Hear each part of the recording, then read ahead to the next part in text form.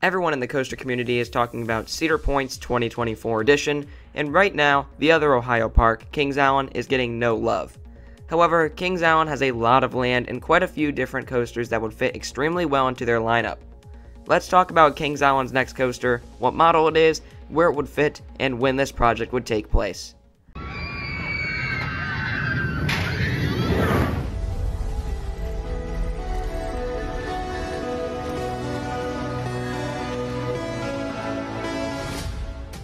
Before we get into the five models I have picked out, let's talk about when and where these coasters will be built. Now, I highly doubt Kings Island will get any coaster in 2024. There has been no construction work around the park, no teasing, and with Cedar Point getting a massive 2024 addition, Cedar Fair wouldn't want to take the love away from Cedar Point. At the earliest, Kings Island would receive a coaster in 2025, which I think is very likely.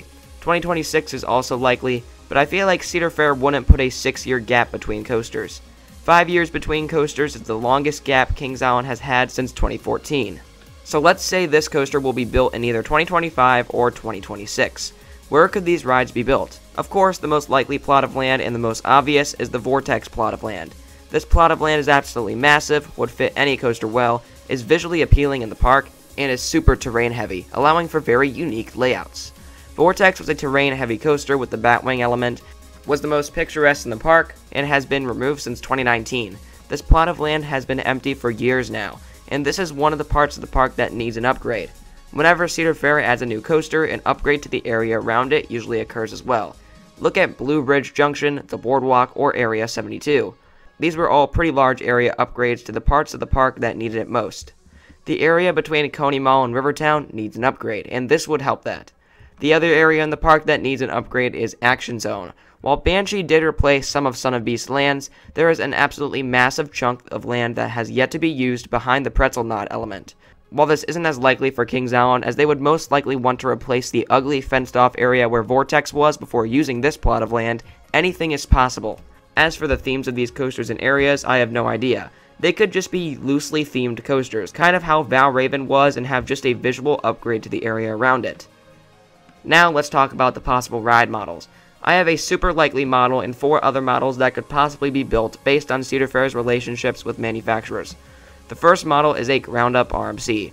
A lot of people are saying that Kings Island should add a ground up RMC theme to the fallen Son of Beast.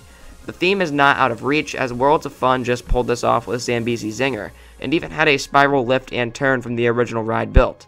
However, I think this is a bit weird.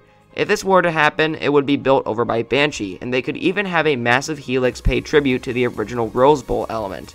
Like I previously said though, Kings Island would be more willing to expand the Vortex plot of land before the Action Zone plot of land. Also, looking at Cedar Fair's relationship with RMC, having structural issues with Steel Vengeance and having to implement different locker and baggage systems on all the RMCs in the chain, they aren't as willing to build from that manufacturer. Also, a ride like this is super similar to Steel Vengeance in the same state, and Storm Chaser just a few hours south. A more likely model would be a B&M dive coaster. We know that Cedar Fair loves working with B&M. They are super reliable and provide coasters that the GP love. Now, something I noticed while working on this video, Kings Island only has 3 inverting coasters. For a park of this size, that is crazy. Considering that out of the three, Banshee is the only one that is worth waiting for, as Invertigo and Flight of Fear are pretty bad rides, I realized Kings Island needs another inverting coaster. Even smaller parks like Six Flags America have more inverting coasters than Kings Island. While Valravn is just 4 hours away, I feel that B&M could pull off a dive coaster that is different enough to pull crowds in. This would be really unique in the terrain setting, having an Immelmann or dive loop where Vortex's Batwing was to pay homage to the fallen Arrow Looper. In addition, Kings Island could have a more airtime or pacing focused layout like Dr. Diabolical's Cliffhanger, and can even have a beyond vertical drop, something that Kings Island is lacking. Moving on to the next coaster, a Gerstlauer Infinity Coaster. Cedar Fair hasn't worked with Gerstlauer since Hangtime in 2018, but to my knowledge, Hangtime had no issues and was a win for Knott's Berry Farm. A terrain-focused Gerstlauer Infinity Coaster would be fantastic here something that starts the launch with many inversions, or just a beyond vertical drop in the terrain setting would be fantastic. Like I said, Kings Island needs an inversion heavy coaster and also another launch coaster. Right now, the best launch in the park is Flight of Fear, which is a mediocre launch on a bad coaster. They could really use another launch. An Infinity Coaster could have many inversions, a beyond vertical drop, a launch, and could be a hit for Kings Island. However, another coaster that is more likely and could add a lot to the lineup is a Mack multi-launch. This will be on the level of Helix. Cedar Fair just worked with Mack in 2019 on Copperhead Strike, and an upscaled version focused on rapid transitions, a sensation Kings Island needs more of, would be fantastic. Again, a launch coaster on the scale of Helix or Beyond the Clouds, with unique inversions like a stall or a batwing that pays homage to Vortex would be fantastic. It could even have a Beyond vertical drop on that top hat. I would like to say Intamin for the manufacturer, but Cedar Fair despises working with Intamin, so Mack is the second best option. The top hat could also have a larger drop than actual height because of the terrain aspect. But now let's talk about the actual most likely coaster for this park. This coaster was just built, and now that it has rave reviews from enthusiasts and the general public, features inversions, a launch, could have a graceful and terrain heavy layout, and super unique seating, I realized a surf coaster is the best option for Kings Island. Again, Cedar Fair loves B&M, and this coaster would fill everything Kings Island needs.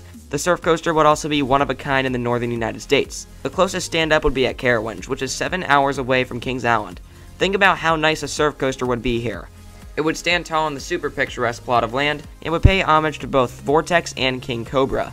King Cobra was a stand-up in the 80s that Kings Island built from Togo, and because Cedar Fair loves hinting at attractions in the past, like with Zambezi Zinger and the Grim Pavilion, why wouldn't they do it with King Cobra and Vortex? The surf coaster would be a hit for the enthusiasts and general public alike, and would fit every gap the park has. And imagine this an upscaled pipeline with more rapid turns and inversions. Not more intense because that wouldn't really work with the stand up trains, but more transitions and unique inversions such as a zero G roll or tighter corkscrew would be phenomenal and a weird sensation with these new trains and might cause experimentation at any parks who buy the surf coaster. Also, the surf coaster could definitely hug the terrain and all the hills in that plot of land, which would make for a unique experience. Thank you so much for watching this video. If you enjoyed it, make sure to leave a like and subscribe. Comment what you think Kings Island's next coaster should be, and have a great rest of your day.